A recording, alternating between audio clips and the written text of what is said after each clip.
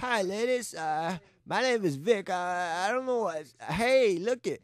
I'm pretty good looking, and what the hell? I would say uh, I like cheeseburgers and fries, ladies. Come on, uh, look at me. I'm just sitting here in my room. It's a pretty cool place, I have to admit.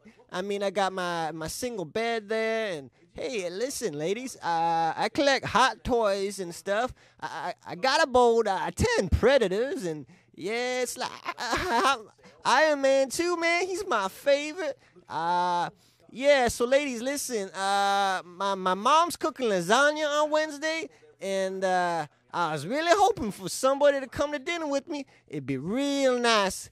Yeah, like real nice if I could, you know, bring a lady home and show mama uh, her boy's doing well, and you know, I, yeah, like I gotta get out of here one day. I just, it's I don't know, man. Like I just can't figure it out, man. Like I, I thought I was a pretty good looking dude, and, and the, I don't know, man. My last girlfriend, she she was just, you know, she was pretty and all, but like she would always, you know, spray me with the hose, and you know, she treated me like a dog, but I couldn't figure it out. And then I don't know, man. Just pick me, please pick me, man. Come on.